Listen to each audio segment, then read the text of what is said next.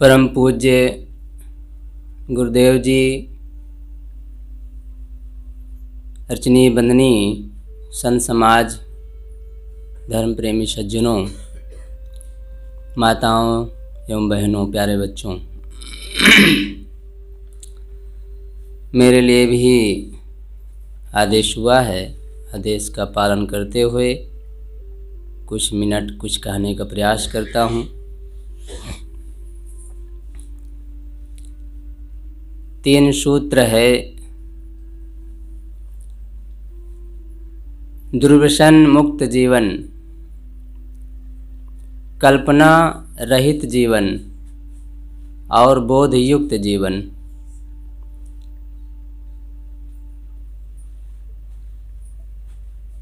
जिस संत ने इस शब्द को कहा होगा, बहुत ही सोच करके कहा होगा कोई बहुत गूढ़ नहीं है, सब समझते हैं किनसे क्या लाभ होता है। दुर्व्यसन मुक्त जीवन। जिसके जीवन में दुर्व्यसन नहीं है, उसके चेहरे को देखा जा सकता है, उसके दांत को देखा जा सकता है, उसके जीवन को देखा जा सकता है, उसके घर, संस्कार को देखा जा सकता है। जिसके जीवन में दुर्व्यसन है गांजा, भाँग, बीड़ी, सिगरेट, जो भी वो गंदी आदत में डूबा है अथवा कर रहा है, उसके घर, व्यवहार, परिवार सब देखा जा सकता है कि कैसा उसका जीवन है। तो हमें दुर्व्यसन से मुक्त होने का प्रयास करना चाहिए। दुर्व्यसन मुक्त हम थे, बीच में आदत पड़ गई है। बीच में हम संग कुसंग में पड़ गए। लोगों के बीच में बैठे। तो जिसके पास जो होता है, वही तो देता है। एक तंबाकू खाने वाला बेचारा क्या दे सकता है? तो जो उसके पास है, वही आपको देता है। एक बीड़ी पीने वाला, एक गांजा पीने वाला, एक भाँग खाने वाला और एक जुआ खेलने वाला, ये आपको क्या दे सकते हैं? जो उनके जीवन में है, जो उनके आदत में है, उन, जो उनके जेब में है, वही तो आपको देंगे। तो आपको क्या चाहिए? अगर आपको गांजा चाहिए, भाँग चाहिए, बीड़ी चाहिए, सिगरेट चाहिए, जुआ खेलने की आदत चाहिए तो ऐसे लोगों को हमें स्वीकारना चाहिए और उनके पास बैठना चाहिए, जाना चाहिए, जिससे हम भी वैसा कर सकें। अगर ऐसा नहीं चाहिए इन सारे दुर्व्यसनों से हम बचना चाहते हैं। हमारे आत्मा उससे दुखी होती है, हमारा मन पीड़ित होता है। उससे बचने का मन में एक कल्पना होती है। तो ऐसी संगत से हमें बचना चाहिए। ऐसा नहीं है कि उनसे राम जोहारी करना बंद कर दें, उनसे बोलना बंद कर दें, उनके पास जाना बंद कर दें, ऐसा नहीं है। अपना व्यवहार निपटाना चाहिए, निपटाएँ। पर सुनिए सबकी, निवेरिए अपनी। सबकी सुनना चाहिए, सबसे व्यवहार करना चाहिए, सबसे राम राम करना चाहिए, किसी से ना द्वेष होना चाहिए, ना घृणा होना चाहिए। सब आदत के लाचार हैं। गांधी जी महात्मा गांधी जी कहते हैं, पापी से घृणा नहीं करना चाहिए, पाप से घृणा करना चाहिए। जो पाप है, उससे हमें बचना चाहिए। पापी का दोष नहीं है, उसे उसे हम घृणा क्यों करें? वो जो पाप करता है, उसे हमें घृणा करना चाहिए, वैसे काम हमें नहीं करना चाहिए। एक पिता के पास दो बच्चे थे। एक बहुत सज्जन, बहुत संत सेवी, बहुत सुंदर। गाँव भर में उसका नाम था, व्यवहार था अच्छा जीवन जी रहा था। और एक व्यक्ति ऐसा था जो माता पिता को दुख देता था, परेशान करता था। और सुबह शाम दारू पी करके आ करके गाली देता गाँव पड़ोस वालों को सबको हैरान करता। किसी व्यक्ति ने दोनों से अलग अलग पूछा कि भाई, आपको ये सीख मिली कहाँ से? मनुष्य जीवन में ये बातें नहीं होना चाहिए तो आपने कहाँ से सीखा? या ये मनुष्य जीवन में होना चाहिए तो इसको आप कहाँ से सीखे? तो जो सदगुणी थे, सदाचारी थे, वह भाई, वह व्यक्ति बोला कि मैं अपने पिता से सीखा हूँ मेरे पिताजी शराबी हैं, शराब पी कर आते हैं, माँ को हैरान करते हैं, घर पूरे परिवार में, पड़ोस में सबको एक प्रकार से हैरान करते हैं, दुख देते हैं। तो इसलिए मैं सीख लिया उनसे कि मैं ऐसा काम नहीं करूँगा जिससे कि मेरे वजह से किसी को कष्ट हो और मेरे जीवन में उसका हानि उठाना पड़े, हानि का अनुभव करना पड़े। मैं वैसा काम नहीं करूँगा। इसलिए मैं संतों की संगत करने लगा, गुरुजनों के पास जाने लगा और अच्छे लोगों के पास बैठने लगा। मेरे जीवन में बहुत बदलाव आया और मैं ऐसा जीवन जी रहा हूँ।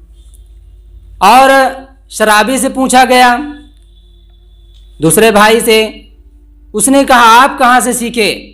आपके भाई तो बहुत अच्छे हैं, बड़े सदगुणी, बड़े सदाचारी हैं और आप ऐसा जीवन जी रहे हैं। कहा, मैं अपने पिता से सीखा हूँ आखिर चोर का बेटा क्या हो सकता है? चोर ही तो हो सकता है। शराबी का बेटा क्या हो सकता है? शराब नहीं पिए तो क्या मतलब है फिर? तो मैं अपने पिता से शराब पीना सीखा। मेरे पिताजी पीते हैं, मस्त, सो जाते हैं, कोई चिंता नहीं होती है। शादी करना है, ब्याह करना है, घर, खेती, बाड़ी, कोई टेंशन नहीं उनको। बस शराब पिए, धुत रहते हैं, मस्त रहते हैं। तो मैं भी इसलिए ऐसा जीवन जीना सीख लिया। अब सोच सकते हैं, दोनों वहीं से सीखे हैं। ये संसार एक पुस्तक की तरह है। उससे हम क्या सीख लेते हैं? वो हमारे ऊपर है। यदि हम संतों से, गुरुजनों से, सज्जनों से नहीं सीखे तो प्रकृति हमें अपने आप सिखा देगी। क्योंकि जब ठोकर लगेगी, क्योंकि प्रकृति की ठोकर लगते ही धरती तक हिल जाती है। बड़ी बड़ी संपत्ति यहाँ पर मिट्टी में मिल जाती है। बड़ी बड़ी संपत्ति बड़े बड़े राजे, महाराजे आए और यहाँ से चले गए। जिसका जीवन जैसे था, वैसा उसका नाम है। सुल्ताना डाकू का अपने ढंग से नाम है, महात्मा बुद्ध का अपने ढंग से नाम है, और जो भी महापुरुष दुनिया में हैं, सबका अपने अपने ढंग से नाम है। जैसी करनी, वैसी भरनी। जैसा उन्होंने किया, वैसा उनके सामने आज हम उनका नाम लेते हैं। तो हम अपने जीवन को झाँक कर देखें और दुर्वसन मुक्त बनाएँ। दूसरी बात है कल्पना मुक्त जीवन। कल्पना मुक्त जीवन हमें जीना चाहिए। कल्पना मुक्त का मतलब जो भ्रम है हमारे अंदर, देवी, देवता, भूत, प्रेत, टोन, टोनहा, टोनही सियार रास्ता काट दिया, बिल्ली रास्ता काट दिया। शकुन अपशकुन बुधवार को उधर नहीं जाना चाहिए, शुक्रवार को उधर नहीं जाना चाहिए, जो मन में भ्रम है। ये किसी जाल साज का रचा हुआ, एक खेल है, बनाया हुआ, रूंधा हुआ एक कांटे की बाड़ी है, इसे हमें बचना चाहिए, क्योंकि वो अपने धन पाने के लिए, अपने स्वार्थ बस, अपने को ऊपर रखने के लिए, ऊँचा पुजवाने के लिए, गुरु बनने के लिए, या पंडित बनाने के लिए, ज्ञानी मनाने के लिए, पूज्य मनाने के लिए, तमाम प्रकार की उनके पास स्वार्थ था और उन्होंने ऐसी रचनाएँ की। ऐसी ऐसी बातें गढ़ी ताकि लोग हमारे सामने झुकते रहें, हमारी बात मानते रहें। आज देखो ना, बिना पंडित की शादी नहीं होती। बिना पंडित के नाम नहीं धरे जाते थे। अब तो सब धर लेते हैं अपने से। शादी भी करवा लेते हैं। आपके घर में कोई मर जाए तो बिना पंडित की उसको जलाया नहीं जा सकता है। तो ये वो अपने स्वार्थ के लिए ऐसा किए। स्वार्थ होना बुरा नहीं है। अगर हमारे जीवन में ज्ञान आता है, विवेक जगता है, विचार बढ़ता है, हमारे जीवन में भी विकास हो रहा है, हमारे मन में खुशी मिल रही है तो ऐसे स्वार्थी को पूजना चाहिए। वो स्वार्थ नहीं है, बल्कि महास्वार्थ है और बहुत काम की चीज़ है। जैसे संत गुरुजन भी स्वार्थी होते हैं, लेकिन वो कल्याण के लिए स्वार्थी होते हैं। उन्हों उन्हें कल्याण चाहिए, उनके लिए, कल्याण के लिए पूरी दुनिया को छोड़ना पड़े तो छोड़ने के लिए वो तैयार हो जाते हैं। किसी ने कहा है कि अपने परिवार के लिए अपने स्वार्थ को त्याग देना चाहिए और अपने गाँव के स्वार्थ के लिए अपने परिवार को छोड़ देना चाहिए, अपने देश के लिए अपने गाँव को छोड़ देना चाहिए और अपने राष्ट्र के लिए, पूरे भारत के लिए अगर देश को भी छोड़ना पड़े तो उसे भी छोड़ देना चाहिए। लेकिन अपने कल्याण के लिए अगर पूरी दुनिया छोड़ना पड़े तो छोड़ देना चाहिए। तो संत गुरुजन महास्वार्थी होते हैं, वो अपने कल्याण के लिए सबको छोड़ने के लिए तैयार हो जाते हैं। वो कितना धन देता है, कितना प्यार देता है, कितना स्नेह देता है, कितना वो आपके जीवन में छाया बन करके जिया है, इसका बहुत महत्व नहीं रखता है। वो अपने स्वार्थ के लिए जीता है, और भी कल्याण के लिए। अगर वो ये धन को बढ़ाने के लिए, जन को बढ़ाने के लिए, घर को बढ़ाने के लिए, गाड़ी, मोटर बाहरी वैभव के लिए वो अगर स्वार्थ रखता है तो ये तो सारा संसार रख रहा है। सारा संसार इसी में पड़ा हुआ है। तो मैं कह रहा था, हमें कल्पना मुक्त जीवन जीना चाहिए। जो हमसे अलग है, हमसे अलग क्या है? ये देवी, देवता, भगवान, भवानी, सारे जो दुनिया में माने जाते हैं, ये सबसे, सब हमसे अलग हैं। सब जब छूट जाते हैं तो ये देवी, देवता उसके साथ छूटेंगे नहीं। सब छूट जाएँगे। फिर दुनिया में छूटेगा क्या नहीं? तो हमें कल्पना मुक्त, ए ब्रह्मभूत सकल जग खाया। जिन जिन पूजा ते जड़ाया अंड न पिंड न प्राण न देही, कोटि कोटि जीव कौतिक देही। बकरी मुर्गी कीनो छेवा, आगल जन्म उन अवसर लेवा। कहाँ कबीर सुनो नर लोई, भूतवा के पुजले भूतवा होई। जो जैसा करन कबीर कमाई अपनी निष्फल कभी न जाए। बोया पेड़ बमूल का तो आम कहाँ से खाए? जैसा हम करते हैं, वैसा हमारे सामने आता है। तो हम भ्रम अपने अंदर से हटाएँ। इसी भ्रम में पढ़ करके लोग बलि के नाम पर बकरी मारते हैं, मुर्गी मारते हैं, मांस खाते हैं। तमाम प्रकार के गंदे आचरण करते हैं इन देवी देवताओं के नाम पर। देवी देवता, देव, देवता होना बुरा नहीं है। ये हो तो इनसे बड़ा लाभ है, लेकिन ये है ही नहीं। लेकिन मान लो, अगर ये हैं तो इन्हें ऐसा कुछ करना चाहिए कि हमारा देश सदगुणी हो जाए, हमारा गाँव सदगुणी हो जाए, हमारा परिवार सदगुणी हो जाए। तो ये जो थाना में पुलिसों को पैसा देना पड़ता है, और तमाम लड़ाई झगड़े मुकदमे में पैसा लगाना पड़ता है, ये सारी झंझट खत्म हो जाए। क्योंकि जब सब सदगुणी होंगे, सब एक दूसरे की बात मानेंगे, सब एक दूसरे से प्रेम करेंगे, सब प्यार करेंगे तो फिर थाना, पुलिस, जेल, जज, इसकी ज़रूरत ही नहीं पड़ेगी। जो आज मिलिट्री भारे, पाकिस्तान और भारत में जो मिलिट्री फौज लगी हुई है, करोड़ों अरबों रुपए जो जा रहा है व्यर्थ में तो क्यों कर, खर्चा करना पड़े? सरकार को बहुत लाभ होगा, क्योंकि सब सदगुणी हो जाएँगे और ये देवी देवता ऐसा कर सकते हैं, क्योंकि हम यही तो मानते हैं कि ये सर्वज्ञ होते हैं, सर्वज्ञाता होते हैं, सबके मन की बात जान लेते हैं, कहाँ क्या वस्तु है, कहाँ क्या होने वाला क्या घटनाएँ घटने वाली है, सभी जानते हैं, क्योंकि सर्वज्ञ हैं। ऐसे ऐसे गुरु अवतार दुनिया में हैं कि सब ऐसा बताने वाले हैं। और वैसा मानते हैं कि हम भगवान हैं, कबीर के हम अवतार हैं, हम भग विष्णु के अवतार हैं, किसके अवतार हैं? जब उनके तथ्य तक जाओ, उनसे तर्क करो तो कहते हैं, लीला करते थे। लीला करते हैं, सब भगवान जितने राम है, कृष्ण है, सब लीला कर रहे हैं। नाटक कर रहे हैं तो नाटक तो आप भी करते हैं, सब करते हैं, सारा संसार नाटक में लगा हुआ है। तो अंतिम में बात आती है कि ये कुछ भी नहीं है, सारे देवी देवता कुछ भी नहीं। दुनिया में दो ही तत्व हैं, जड़ और चेतन। चेतन आप हैं, जड़ ये संसार है, शरीर है। शरीर जड़ है, और शरीर से संबंधित सारे जो कुछ दुनिया में दिखाई देता है, ये विश्व ब्रह्मांड के रूप में, धरती के रूप में, आग के रूप में, पानी के रूप में जो कुछ दिखाई दे रहा है, सब जड़ है।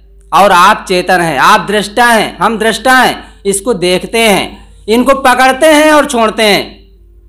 जहाँ हमें लाभ होता है, वहीं पकड़ लेते हैं, जहाँ हानि लगता है, वह छोड़ देते हैं। जिस पत्नी से हमें दुख का अनुभव होता है, ऐसा लगता है कि इसे हमारे घर का ये जाल है, हमारे घर में दुख पैदा हो गई है मानो आ गई है तो छोड़ने के लिए तैयार हो जाते हैं, लोग छोड़ देते हैं, तलाक दे देते हैं, बहुत उपाय करते हैं, और जिसे लगता है इनसे सुख है, जिन, इनसे बहुत लाभ है, बहुत अपने घर परिवार व्यवस्थित हो सकता है तो उसे पकड़ लेते हैं, और अच्छे ढंग से पकड़ते हैं तो हमें कल्पना से बचना चाहिए। ये भ्रम के चक्कर में किसी को दुख नहीं देना चाहिए। बल्कि भ्रम वाला काम नहीं करना चाहिए। भ्रम वाले काम से हमें बचना चाहिए। भ्रम वाला काम है, लोगों को दुख ना दो, पीड़ा ना दो, ऐसे कर्म करो जिससे कि आपको सुख मिले। तो भगवान भवानी की ज़रूरत ही नहीं पड़ेगी। आप संयम से रहेंगे तो आपका पेट खराब नहीं होगा। पेट नहीं खराब होगा तो शरीर स्वस्थ रहेगा, मस्त रहेगा तो डॉक्टर के पास जाना नहीं पड़ेगा। ऐसे ही जब हम अच्छा जीवन जिएँगे, अच्छे कर्म करेंगे तो हमें भगवान की ज़रूरत ही नहीं है। हमें भगवान की ज़रूरत तब पड़ती है जब हम दुखी होते हैं, पीड़ित होते हैं, अंदर से तड़प हमारे अंदर होती है, तमाम प्रकार के कष्ट होते हैं, दुनिया का अनुभव हम करते हैं, तब भगवान को मनाते हैं, परमात्मा को मनाते हैं। तो हमें कल्पना मुक्त जीवन जीना चाहिए। अंतिम में बात है कि आत्मबोध युक्त जीवन जीना चाहिए। हमें यह बोध होना चाहिए कि हम कौन हैं? हम आत्मा हैं। हम जड़ नहीं हैं। हम तुच्छ नहीं हैं। हम कठपुतली नहीं हैं। सूत्रधार हमें कोई नचाने वाला दुनिया में नहीं है। हम एक चेतन सत्ता हैं। हम दूसरे के आधार इसलिए पकड़ते हैं क्योंकि हम कहीं ना कहीं रास्ता भूलने का डर होता है। जैसे बच्चा माँ की गोद क्यों पसंद करता है? क्योंकि वह सब कुछ नहीं जानता। वो भटक सकता है, दुखी हो सकता है। इसी प्रकार हम भी दुखी हो सकते हैं, हमें रास्ता भूल सकते हैं, इसलिए हमें गुरु की ज़रूरत होती है माता पिता की ज़रूरत होती है, समाज की ज़रूरत होती है। इसलिए तो बुद्ध, महात्मा बुद्ध जी कहते हैं कि बुद्धम शरणम गच्छामी। माने बुद्धिमानों की शरण में जाओ, उनकी संगत करो। बुद्धिमान मतलब अच्छे लोगों की संगत, गुरु की संगत, महापुरुषों की संगत करो। अच्छे लेख का अध्ययन करो, मनन करो।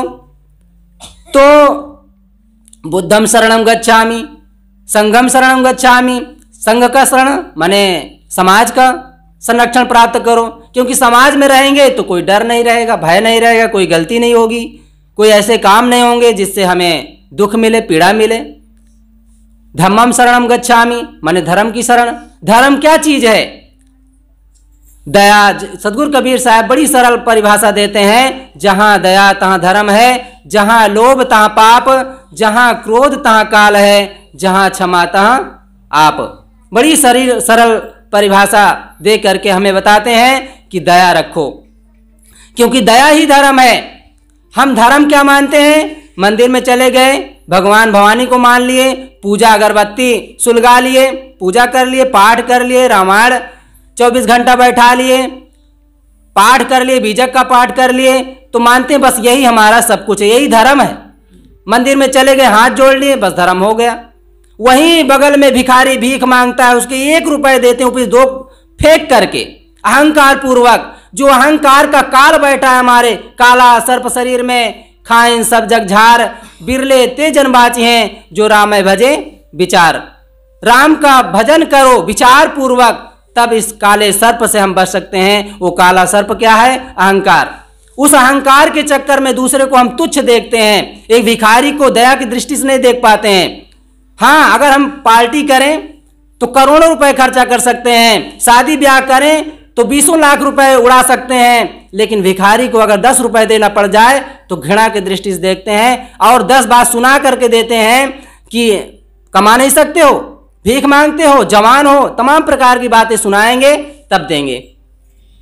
तो जितना आप दिए नहीं, उतना तो आप सुना दिए तो लाभ क्या मिला? फल क्या मिला? सदगुरु कबीर साहब कहते हैं दया रखो, क्योंकि यही धर्म है। धर्म ही हमें आत्मबोध दे सकता है। देखो, ये सत्संग यहाँ पर हो रहा है। यहाँ आत्मबोध, यहाँ यही धर्म है।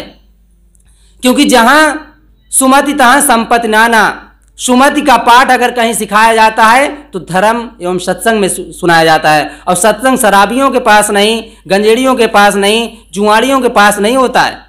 सत्संग संतों के पास होता है, सज्जनों के पास होता है, अच्छे लोगों के पास होता है। उनकी वाणी, उनके ज्ञान, उनके विचार को सुन करके हम अपने जीवन को बदलें और अपने मन को बदलें। क्योंकि नहीं बदलेंगे तो उसका परिणाम हम ही को मिलेगा। तो मैं कुछ देर कुछ कहने का प्रयास किया। तीन सूत्र पर, दुर्व्यसन मुक्त जीवन कल्पना मुक्त जीवन और आत्मबोध युक्त जीवन हमें जीना चाहिए। मैं यहीं पर अपनी वाणी को विराम देता हूँ। एक बार ज़ोर से जयकारा बोलें।